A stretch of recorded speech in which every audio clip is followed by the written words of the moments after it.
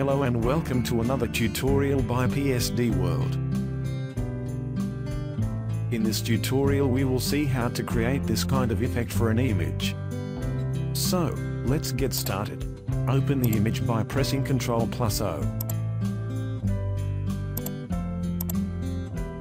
Go to Layer, Duplicate Layer.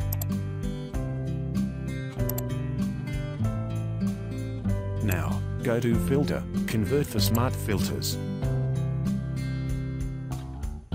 Go to Filter, Other, High Pass, and set its value to 100 pixels and press OK.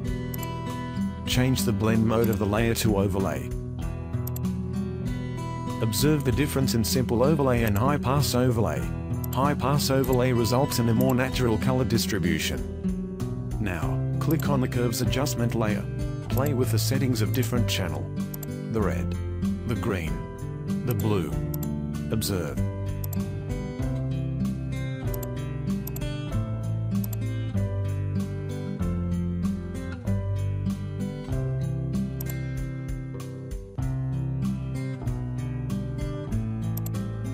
Select the layers by pressing Ctrl, and group them by pressing Ctrl plus G. A nice photo effect is created. Let's try this on another image.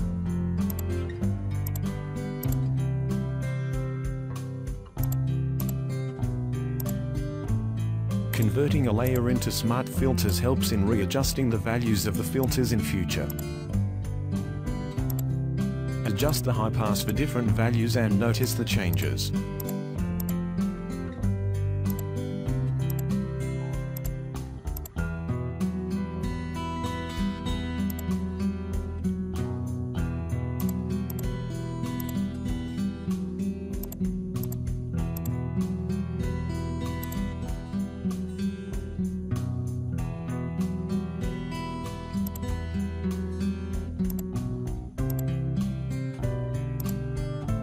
So, why don't you give it a try and tell me how it turns out?